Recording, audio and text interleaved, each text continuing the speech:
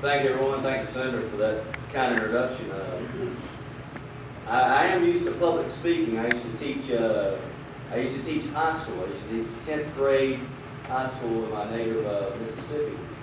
Uh, tenth grade world history. So, uh, my challenge was getting, fifteen-year-olds to understand the, the relevance of, of Charlemagne and and whatnot. So I, so I'm used to the public speaking, but here's the catch. I'm, I'm not used to everybody being awake. So, so this is a little bit new experience. A little bit new experience to me. Uh, if I may, uh, I'd like to bring someone up with me, uh, Colonel Alan Bent, uh, the Chief of Staff for the Army National Guard.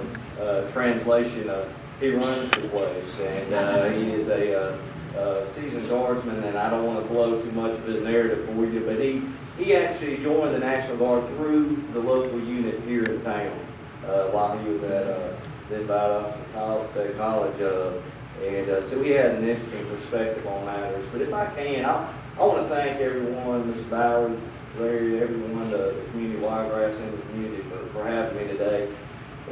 Program, it lists, uh, it, it refers to kind of a state of the guard presentation. And I'll do that as best I can in the small amount of time I, I can. But throughout these next two weeks, in honor of the National Guard's 376th birthday on December the 13th, next uh, Thursday, I believe, um, we are beginning a, an annual celebration of that birthday at our head, new headquarters uh, located on Dobbins Air Force Base in Marietta. And in addition to just celebrating the, the, the birthday, we want to treat it as a retiree homecoming. Uh, come meet us again for the first time, if you will.